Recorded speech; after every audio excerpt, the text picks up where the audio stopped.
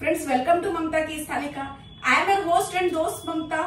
आज मैं बनाने जा रही हूँ फ्रेंड्स रेलवे स्टेशन पे प्लेटफॉर्म पे मिलने वाली आलू पूरी की सब्ज़ी, जो कि जिसका टेस्ट बिल्कुल अलग होता है घर की आलू पूरी की सब्ज़ी से। और इसमें बहुत ज़्यादा फैंसी मसाले नहीं जाते, सिर्फ़ एक छोटी छोटी सी ट्रिक्स है बनाने की।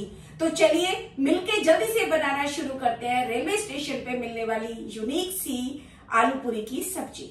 तो सबसे पहले इसके लिए हम ये मसाला ही तैयार कर लेते हैं, क्योंकि इसमें बहुत सारा फैंसी मसाले नहीं चाहते हैं, जो रेलवे स्टेशन पे मिलती है। तो देखिए, हमने वन टीस्पून धनिया ले लिया है फ्रेश मसाले डलते हैं, और वन टीस्पून ही हमने इसमें जीरा ले लिया है। लेकिन इसकी भुनाई हमें बहुत अच्छी करनी है। मेरा पराठा मसाला, देखिए, उसका मसाला थोड़ा सा डिफरेंट है। तो देखिए, जब ये सेवेंटी एटी परसेंट ये बन के तैयार हो गया है तो अब हम इसमें क्या डालेंगे? अब हम इसमें, देखिए, सबसे इम्पोर्टेंट चीज़ ये रेड चिली डालेंगे।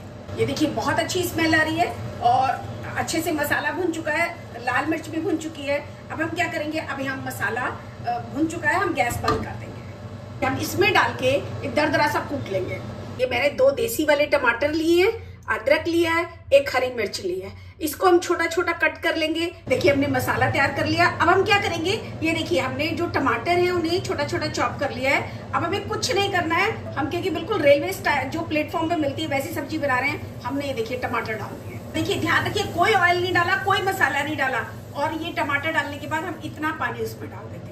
अब इन्हें अच्छे से बॉयल होने देंगे। लेकिन उससे पहले क्या करेंगे, हम ये पिंच सॉल्ट डालेंगे। सॉल्ट आप पूरी सब्ज़ी का निकाल लीजिए। फिर उसके हिसाब से ज़्यादा ना हो जाए, क्योंकि बाद में भी डालना है। As per taste as per health ये देखिए, अब हमने ये लिट लगा दिया है। और मैं आपको बताऊँगी कि मैंने इन टमाटर क्यों रेलवे स्टेशन पर मिलने वाले इस तरह से सब्ज़ी बनाते हैं, इस तरह से टमाटर बॉईल करते हैं। देखिए, हमने ये जो टमाटर रखे थे बॉईल करने लिट खोल के हम देख लेते हैं।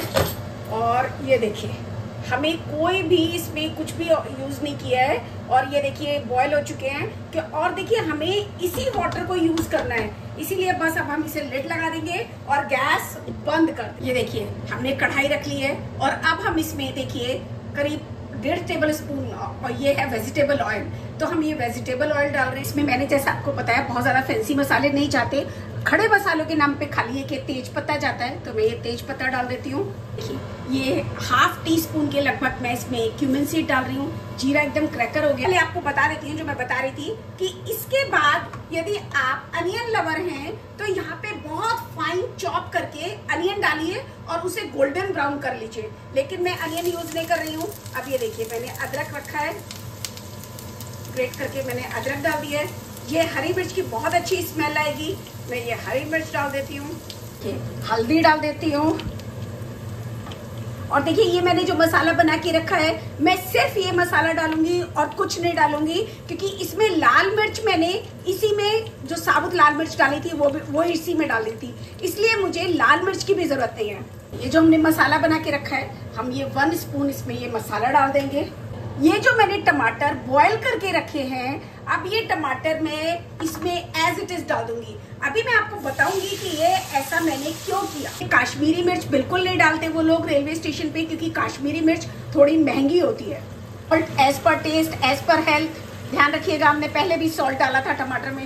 हिट लगा देंगे दो तीन मिनट के लिए। ये चार आलू मैंने बॉईल करके ले लिए हैं और इन्हें मैंने सिंपल हाथ से ऐसे ब्रेक कर लिया, तोड़ लिया। चाहे तो चाकू से भी काट सकते हैं। ये देखिए ऑयल बिल्कुल सेपरेट हो चुका है। आपको मैं दिखाती हूँ, ये देखिए। ऑयल बिल्कुल सेपरेट हो चुका है। देखिए, ये देखिए, ध्यान रखिए, हमने कोई भी फैंसी मसाले नहीं डाले हैं। और ये देखिए, हम इसमें अब क्या करेंगे? ये हम, ये जो बॉयल्ड आलू है, ये मिक्स कर देंगे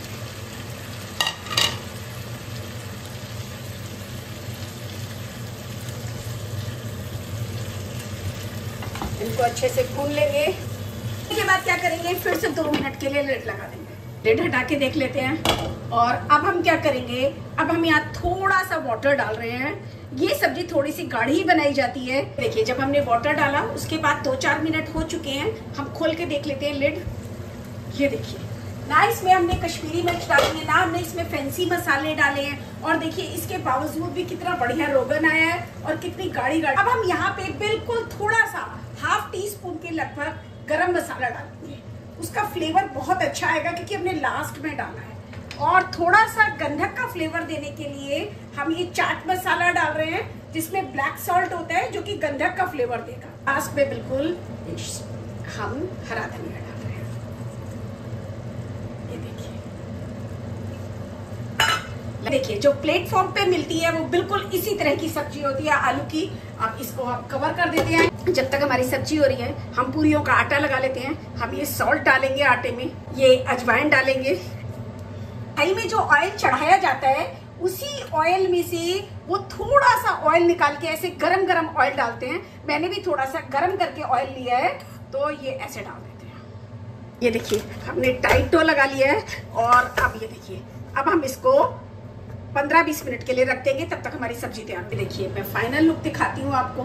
ये देखिए, कितनी गाढ़ी सी और कितनी मज़ेदार सी ये सब्ज़ी बनके तैयार होती है। ये थोड़ी गाढ़ी ही होती है, क्योंकि पूरियों के साथ सर्व की जाती है। और इसमें देखिए, मैं आपको एक चीज़ बताती हूँ कि मैंने टमाटर को ऐसे पानी में बॉईल क्यों किया?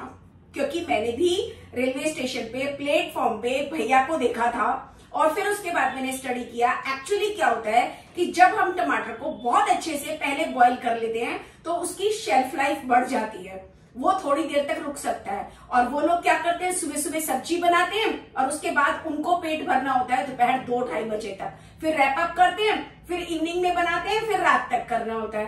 तो हो सकता है कि ना पता हो किसी को, लेकिन इसका मकसद यही होता है कि टमाटर खराब ना हो सब्ज़ी में। टमाटर अच्छे रहे, इसलिए उनको अलग से बॉईल किया जाता है। और कश्मीरी मिर्च भी नहीं डाली जाती, फिर भी कलर बहुत अच्छा आता है, फिर भी टेस्ट बहुत अच्छा होता है। और खड़े मसाले के नाम पे सिर्फ़ एक तेज पत्ता और ये देखिए, मेरा आटा भी 15-20 मिनट रेस्ट करते हो गया और ये ऐसे हार्ड आटा लगाना है। अब देखिए, इसकी पहचान की बहुत अच्छा आटा बना है कि नहीं बना है। ये देखिए ये देखिए, ये इसके बाद बाउंस बैकों के ऊपर आ रहा है। ये देखिए ये देखिए।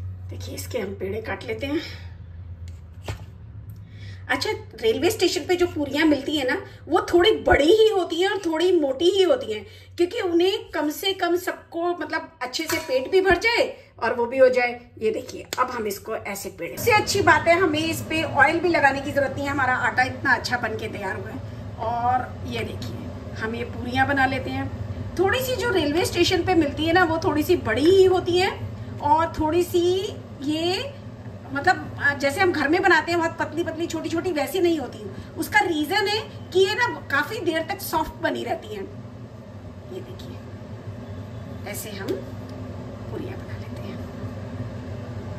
ये मैं आपको दिखाता हूँ। ये देखिए। पूरी डालते हैं।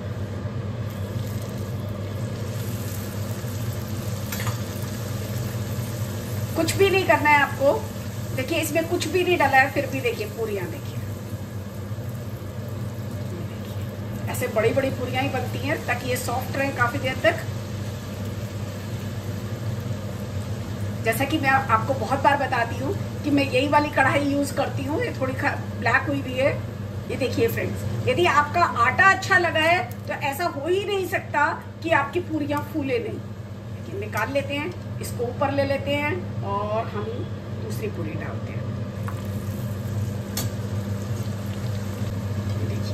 सारी पूरियाँ बिल्कुल पूरी फूली फूली बनेंगी। ऐसा हो ही नहीं सकता कि एक भी पूरी आपकी फूले नहीं। यदि आपका डो अच्छा लगा है तो ये देखिए। ये देखिए, ऐसे गाड़ी गाड़ी सब्ज़ी वहाँ पे वो नहीं दिखाई देती है। तो देखिए, हम बिल्कुल रेलवे स्टेशन की तरह ही इसे सर्व कर लेते हैं।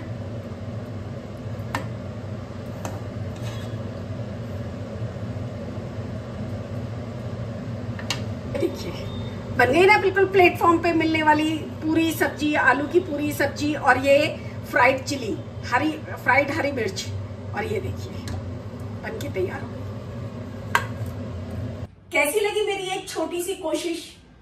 मेरे को याद आ गया कि रेलवे प्लेटफॉर्म पे मिलने वाली आलू पूरी की सब्ज़ी एकदम यूनिक होती है।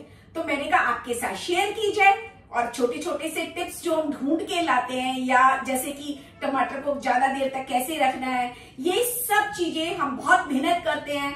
तो फ्रेंड्स मेरे को कमेंट सेक्शन बॉक्स में लिखना बिल्कुल मत भूलना कि आप किस शहर से, किस जगह से, किस सिटी से ये वीडियो बैठ के देख रहे हैं। मैं फिर मिलती हूँ एक नई वीडियो में, एक नई रेसिपी के साथ, एक नए एक्सपेरिमेंट के साथ। और आप अपना वादा बिल्कुल मत भूलना, अपने फ्रेंड्स के साथ, अपने दोस्तों के साथ शेयर ज़रूर करना और मुझसे आके मिलना बिल्कुल मत भूलना।